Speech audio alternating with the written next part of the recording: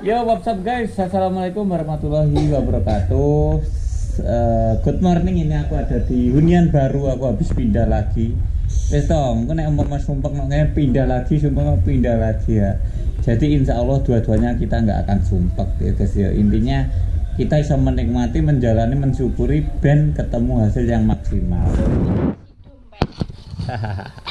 Oke. Dompet. Banyak yang request ke teman-teman ya. Eh, Mas Bajindo. Ini loh.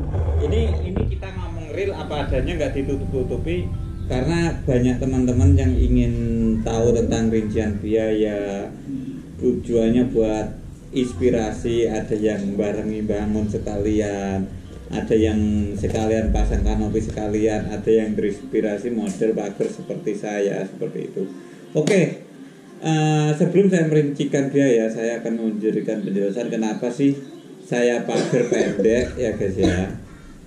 Kalau aku menjelaskan di sana aku nggak enak sama tetangga sebelah ketika terdengar suaraku di sana. Yang pertama saya eh, ingin pagar pendek karena apa?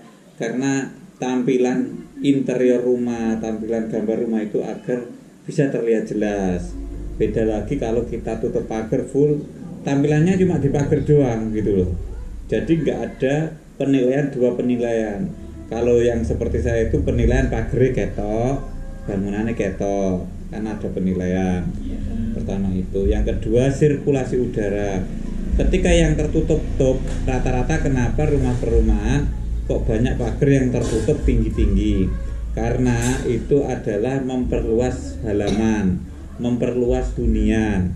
Karena mayoritas di perumnas itu eh, luas lahannya itu ngepres nggak ada sisa kosong nggak ada. Ngepres bangunan cuma karpot cuma taman satu kali satu setengah meter lah seperti itu. Berhubung tempatku itu masih full masih los jadi saya nggak perlu penambahan-penambahan bangunan yang ada di teras rumah. Jadi wis cukup lah wis luas lah.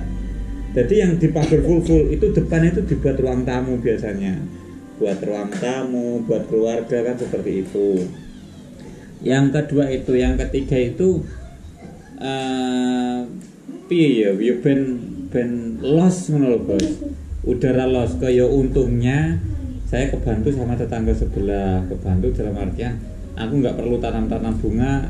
Di sampingku itu wes nyiwasi wes ijo-ijo seneng ngono guys aku ate demek-demek aku pekewo guys kok mari wong anyar nang kono. Jadi cuma hanya melihat iku seneng.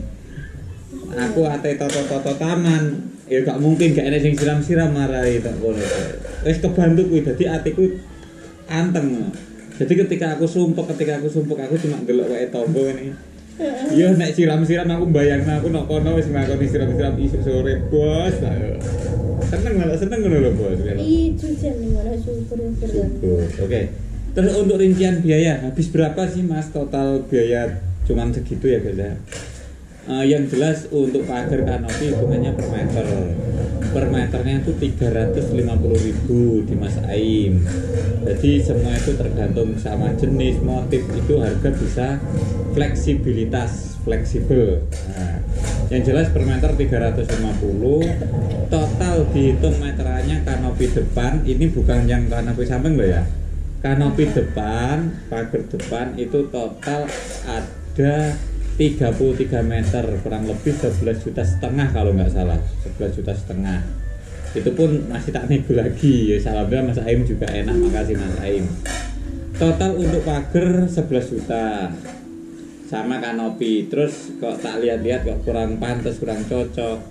Yang sampai rumah momplong akhirnya musyawarah sama istri mah pian ditambahi oke gak apa-apa. Alhamdulillah itu aku belanja besi sendiri belanja sepatu sendiri. Ya wes dibantu dengan tenaga kerjanya mereka pengecatannya mereka pemasangan mereka. Sependeknya dari sana juga sih. Itu total habis satu juta setengah jadi biro Sampai dewi iki pager kain. lah ya tel eh, 11 juta ditambah 1 juta setengah biro Iya. Rolas juta setengah.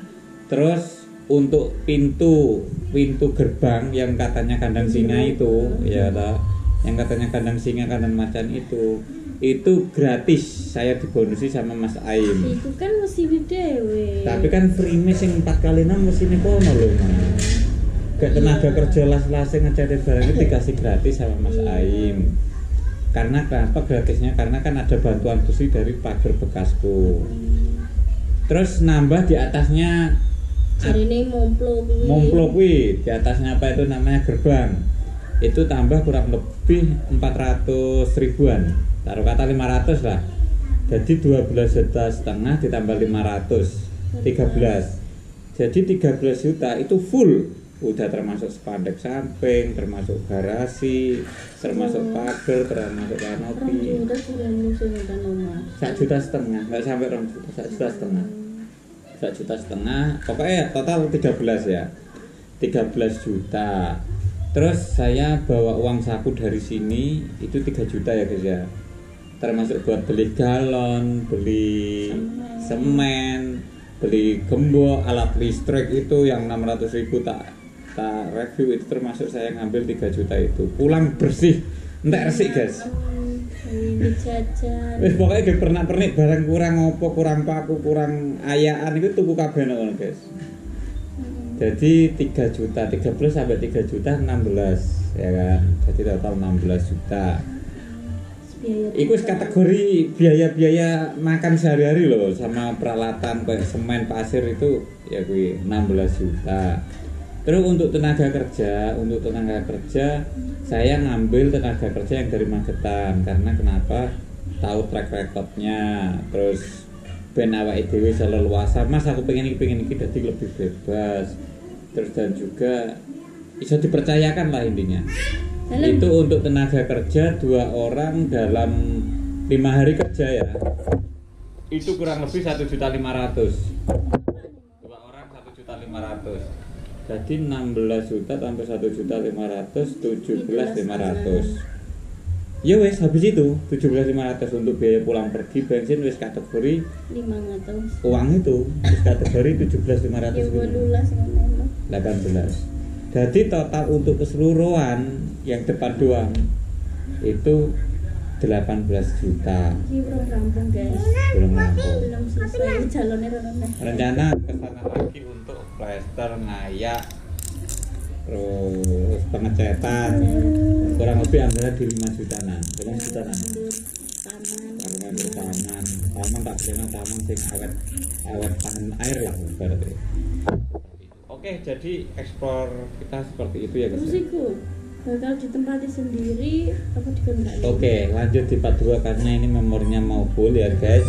Oke, nanti tak tanya-tanya istriku gimana rasanya ke perumahan situ, ntar tanya-tanya. Oke, lanjut bye bye. Tunggu part 2 nya ya bosku ya.